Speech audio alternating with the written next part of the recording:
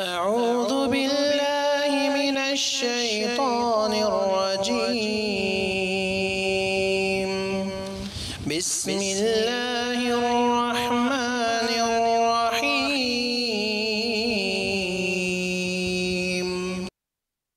السلام علیکم ورحمۃ اللہ وبرکاتہ معزز ناظرین گھر کے آداب میں سے ایک ضروری ادب یہ بھی ہے جیسا کہ مسند احمد کی روایت ہے۔ عائشہ رضی اللہ عنہ سے جب پوچھا گیا کہ اللہ کے نبی علیہ الصلاۃ والسلام اپنے گھر میں کیا کرتے تھے یعنی آپ کا روزانہ کا معمول کیا تھا، گھر کا روٹین کیا تھا؟ تو عائشہ رضی اللہ عنہ نے اس سوال کے جواب میں بتایا کیا نہ یقیت صوبہ یخ و یکصف نعلہ و یعمل ما یعمل الرجال فی بیوتہم تین جواب انہوں نے دیے۔ تین اعمال اللہ کے نبی علیہ الصلاۃ والسلام کیا کرتے تھے۔ ایک یہ کہ آپ اگر اپنے کپڑوں کے کچھ دھاگے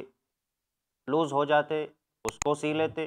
یا پھر اگر جوتوں کے تسمے سیدھے کرنے ہوتے، وہ اس کام میں آپ مشغول ہو جایا کرتے، یا پھر کہا کہ جس طریقے سے عام مرد گھروں میں مصروف ہوتے ہیں کسی بھی کام میں، ایسے آپ علیہ الصلاۃ والسلام مشغول ہوا کرتے تھے۔ اس حدیث کی روشنی میں ہمیں اللہ کے نبی علیہ الصلاۃ والسلام کی سنت مبارکہ، آپ کا روزانہ کا معمول یہ معلوم ہوتا ہے کہ ایک انسان اپنے گھر میں اگر ہیں تو فارغ نہ رہے، کوئی مفید کام میں مشغول رہے، کوئی اچھے کام میں مشغول رہے، یا پھر جیسے خود اللہ کے نبی علیہ الصلاۃ والسلام افضل البشر یعنی تمام انبیاء میں بھی، تمام انسانوں میں بھی آپ بڑے فضیلت والے تھے، اس کے باوجود آپ اپنے گھر میں مشغول ہوتے اور گھر کے کام کاج کیا کرتے، اپنے خود کے کام کیا کیا کرتے تھے یہ انسان کی عزت کو گھٹانے والے نہیں ہیں، بلکہ انسان کو خوددار بنانے والے اعمال ہیں۔ اور ایک اور روایت ہے صحیح مسلم کی، جس میں عائشہ رضی اللہ عنہ سے جب پوچھا گیا کہ اللہ کے نبی علیہ الصلاۃ والسلام اپنے گھر میں کیا کرتے ہیں، تو آپ نے ایک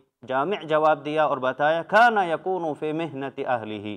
اے فی خدمت اہلی ہی یعنی اللہ کے نبی علیہ الصلاۃ والسلام اپنی گھر کی خواتین کی خدمت میں ہوتے یعنی گھر کے کچھ کام جو خواتین کر رہی ہوتی، اس میں آپ ہاتھ بٹاتے، حصہ لیتے اور ان کا تعاون کیا کرتے تھے۔ تو لہٰذا انسان کو ان کاموں میں ہاتھ بٹانے میں معیوب نہیں، اس کو عیب دار عمل سمجھنا نہیں چاہیے۔ اس کو اپنے آپ کو معیوب نہ سمجھے، بلکہ یہ کام افضل الرسل، افضل البشر اللہ کے نبی علیہ الصلاۃ والسلام نے کیا ہے۔ تو لہٰذا آپسی تعاون سے گھر میں ملنساری محبت و الفت بھی عام ہوتی ہیں اور اس طرح سے گھر میں رشتہ داریاں قائم ہوں گی اور انشاءاللہ اللہ کی جانب سے رحمت و برکت بھی نازل ہوگی۔ اللہ تعالی ہمیں نیک توفیق دے، آمین۔